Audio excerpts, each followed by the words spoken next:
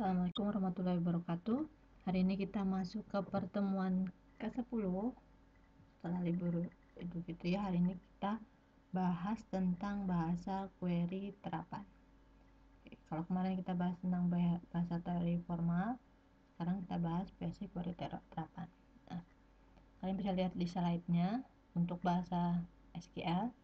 Ini adalah bahasa query terapan yang banyak digunakan oleh berbagai database management system diterapkan juga dalam berbagai tool uh, development tools dan juga program aplikasi untuk berinteraksi dengan basis data. Nah, di subdivisi SQL ini nanti kita akan belajar dua macam, yaitu yang pertama adalah data definition language atau dikenal dengan DDL. Query-query ini digunakan untuk mendefinisikan struktur atau skema dari basis data. Dan yang berikutnya ada data manipulation language atau DML. Ini adalah query yang digunakan untuk manajemen data dalam basis data. Nah, ini coba uh, pengelompokan dari statement SQL-nya dari data definition language ini contohnya adalah create database, create table, create index, create view, alter table, drop ya. Drop ini untuk mendelete. Kemudian ada data manipulation language, DML, insert, select, update ataupun delete. Oke. Sebelum masuk ke praktikum, Eh, kita akan coba lihat uh, eh, SQL GUI-nya ya. SQL MySQL itu adalah bahasanya, kemudian GUI-nya toolsnya itu nanti ada beberapa macam. Ini dapat di sini, kalian bisa lihat di codingsite.com. Ini adalah 10 MySQL GUI tools yang terbaik ini tahun 2019 nih. Contohnya pertama, kalian bisa menggunakan bahasa MySQL ini mengolahnya dengan menggunakan GB Force ya. Atau kemudian ada MySQL Workbench kemudian ada PHP MyAdmin ini mungkin kalau kalian insta install exam ini biasanya sudah ikut. Kemudian juga ada Heidi SQL ada lagi Toad8 for MySQL kemudian ada SQL York ya. Ini bisa download trialnya di webnya. Kemudian ada juga Navigate for MySQL ada Aqua Data Studio kemudian ada Valendana Studio SQL Pro ya. Ini adalah 10 macam contoh dari MySQL GUI-nya jadi untuk mengolah uh, query menggunakan MySQL kalian bisa download atau bisa gunakan beberapa software yang tadi ya.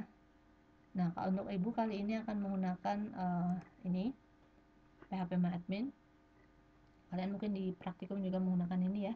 Nanti silahkan diuji coba sendiri kita akan mulai mempraktikum mempraktekkan tentang data definition language dan juga data manipulation language.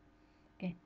Yang pertama, uh, kemudian yang berikutnya juga ada data access, data integrity dan juga auxiliary. Ya. Yang pertama, kita akan mencoba untuk data definition language. Dalam pembuatan database, ini contohnya uh, query-nya adalah create database. Kemudian yang perlu kalian perhatikan adalah sintaks ya di dalam database, sintaks itu harus sangat hati-hati menulisnya, harus benar sesuai dengan sintaks dasarnya, kemudian strukturnya seperti apa juga harus diperhatikan. Ya, contoh kalau untuk database, kalian cukup create database lalu nama databasenya lalu akhiri dengan titik koma. Kemudian untuk tabel itu juga sama, ada ada sintaksnya. Sintaksnya adalah seperti ini misalkan. Create table, kemudian lanjut dengan nama tabelnya, baru kemudian dalam kurung kolom pertama tipe datanya apa lalu kolom ke berikutnya. Yang kolom berikutnya ini biasanya keterangan untuk indeks ataupun yang lainnya. Begitu berikutnya baru untuk uh, kolom yang kedua kemudian tipe data dan seterusnya. Oke. Kalau di untuk di GUI MySQL kalian sebenarnya bisa langsung membuat lewat sini ya. Misalnya ini ibu ada di depan kita ibu mau buat database baru bisa langsung di sini biar databasenya misalkan database maha siswaku nanti langsung create misalnya. Tapi sekarang kita tidak akan menggunakan GUI nya kita akan coba menggunakan bahasa SQL nya kalian bisa klik yang di sini SQL lalu ketikkan sintaksnya di sini. Kemudian jika sudah selesai sintaksnya kalian bisa pilih go ya contoh sekarang ibu akan buat uh, membuat database. Tadi sintaksnya adalah create database database kemudian kampus. Seperti ini contohnya. Coba kalau kita klik go bisa atau tidak? Ya di sini sudah langsung muncul sebuah database kampus. Jadi databasenya. Kan? Kampus. Oke masih kosong belum ada isinya. Belum belum ada tabel di dalam dalamnya ini adalah database kampus. Kemudian kita mau mengolah database yang ada di database kampus ini dengan cara menambahkan tabel. Masih di data definition language berarti kita pilih dulu kampusnya. Di um, penambahan tabel sintaksnya adalah seperti ini. Kita mau tambah tabel apa? Tabelnya tabel mahasiswa kemudian di situ ada fieldnya adalah name tipe datanya char kemudian lengthnya atau panjangnya 8 nama kemudian tipe datanya juga sama char lalu panjangnya 25 kemudian alamat char panjangnya adalah 30 sama kalian bisa tinggal ketikkan di sini. Create kemudian table berapa misalkan mahasiswa mahasiswa kemudian fieldnya apa saja. Tadi fieldnya name kemudian uh, tipe datanya char misalnya kemudian uh, lengthnya itu 8 panjangnya kemudian field yang kedua diikuti dengan uh, koma kemudian baru field yang kedua nama misalkan ini juga char kemudian di sini uh, panjangnya nama 25 dan ada juga alamat ini kalau alamat panjang bisa juga dengan varchar atau tetap char misalnya seperti ini ini 30 kemudian di sini ada not null ini berarti untuk penulisan dia tanpa menggunakan tidak boleh kosong datanya ya. Nah, di sini tidak boleh diisi dengan data kosong. Not null kemudian kalian tambahkan juga. Not null kemudian yang terakhir juga. Not null ini ditutup. Kalau sudah fieldnya 3 tutup. Dua titik koma. Kalian boleh langsung eksekusi oke langsung di sini akan muncul tabel satu tabel mahasiswa belum ada isinya kita lihat. Kalau mau lihat bisa diklik. Nah di sini belum sudah ada name nama dan alamat tipe datanya seperti ini. DDL yang berikutnya adalah membuat indeks ya. Contohnya membuat primary key ataupun yang lainnya. Caranya adalah dengan cara mengetikkan create unix index lalu nama indeks. Nanti kalian boleh langsung praktekkan kemudian membuat view ini untuk melihat membuat uh, melihat tabel nanti dia akan muncul di sini. Caranya adalah jangan seperti ini ya. Create view lalu nama viewnya apa kemudian select from mahasiswa nanti kalau sudah lihat ada datanya baru bisa terlihat uh, isinya. Ya. Oke kemudian itu adalah data definition language. Nanti kalian bisa praktekkan sendiri. Kemudian yang berikutnya ada DDL lanjutan misalkan kita mau drop database mendrop table mendrop index ataupun mendrop view itu bisa kalian gunakan sintaksnya seperti ini. Contoh ibu buat dulu tabel baru ya. Untuk tabel mahasiswa aja kita delete. Kita mau mendrop uh, tabel mahasiswa. Berarti tulisnya drop table kemudian mahasiswa. Seperti ini maka tabel mahasiswanya akan do you really want to drop tabel mahasiswa yes oke okay, lalu oke okay.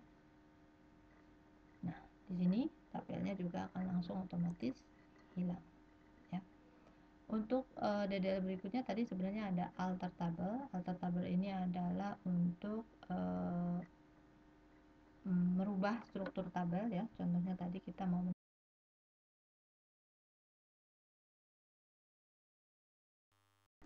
Oke, tadi adalah contoh ketika kita menghapus tabel mahasiswa. Sekarang kita akan mengalter tabel. Ini Ibu anggap masih ada tabel mahasiswanya. Kita alter tabel Alter tabel ini merubah struktur tali tabel. Tadi kan kita baru ada punya field 3 ya, name, nama, alamat. Lalu kita akan tambahkan satu field lagi.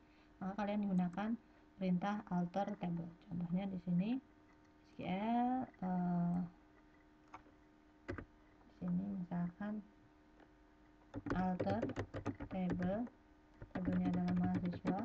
Kemudian di situ kita akan menambah kolomnya dengan jenis kelamin. Tipe datanya tetap ditulis lalu lainnya juga ditulis.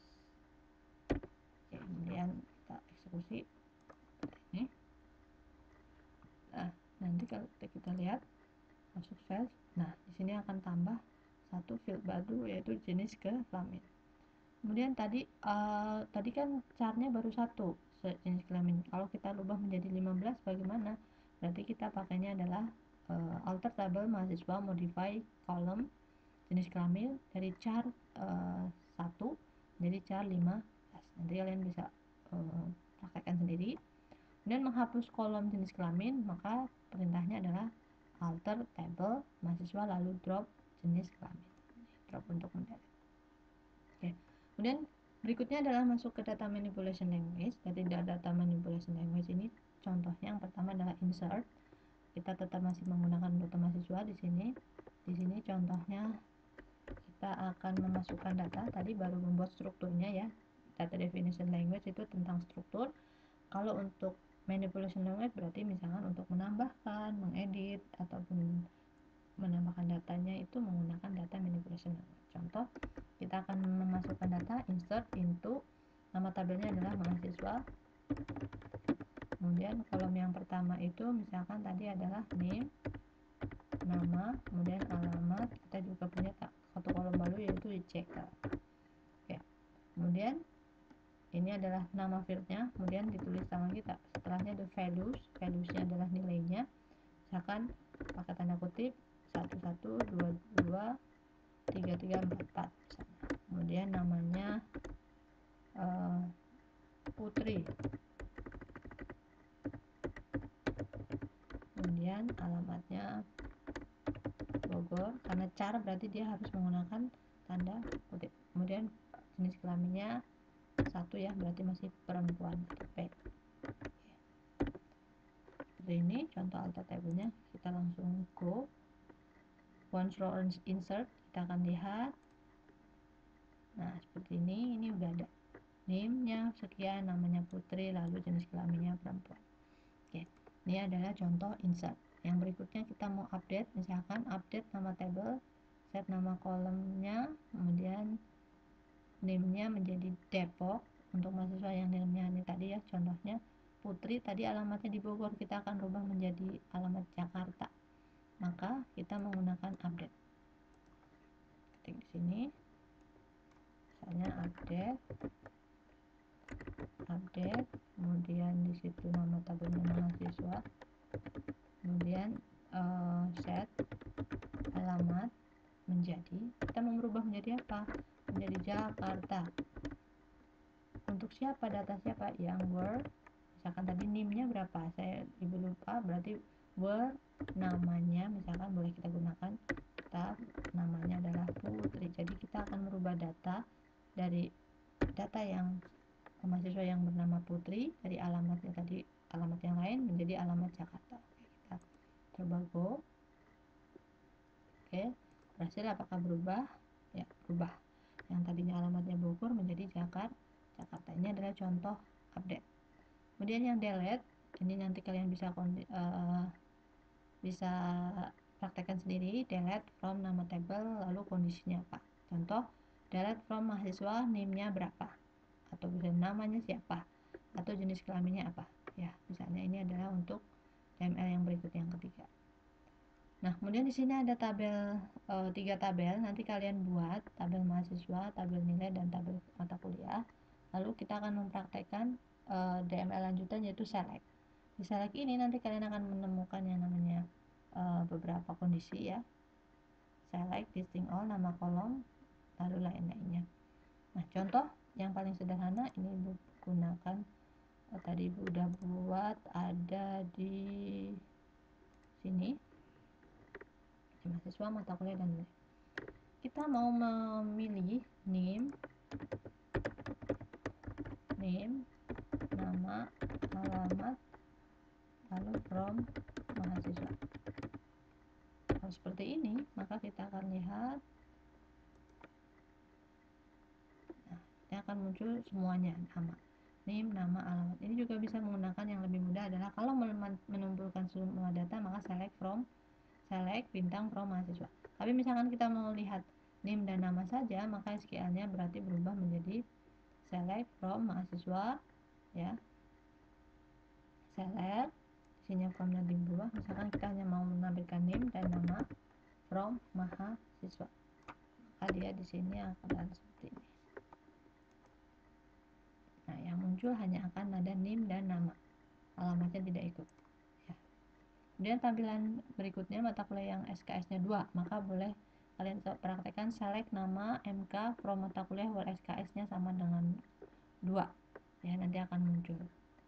E, di, datanya. E, kemudian untuk menampilkan sebuah data nilai di mana midnya lebih besar sama dengan 60 atau nilai finalnya lebih besar dari 75 ini juga kalian bisa buat ya. Kita ketik di SQL nya ini select from nilai from nilai. Apa tadi yang harus ditampilkan? Where midnya itu lebih besar nilai midnya lebih besar dari 60 atau finalnya lebih besar dari 75 ya kita lihat hasilnya ada atau tidak maka hasilnya hmm, salah ya tak bisa diedit. Kalau salah seperti ini kalian bisa edit dan bisa lihat uh, syntax to use nilai where mid 60 dan or final. Oke kita lihat. Select from nilai. Oh nilai ini ini kan nama tabel kenapa ibu pakai ini ya? Harus seperti ini. Select nilai were mid 60 or finally final lebih dari 40 lihat berhasil masih salah. Nah di sini uh, select from nilai. Oh ibu salah karena ibu ada di tabel kampus. Sementara tabel ibu ada di uh, coba. Nah di sini harusnya. Select bintang from nilai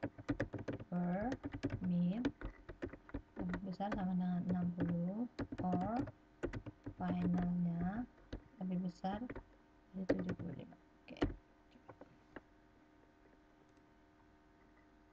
Oke berhasil ya.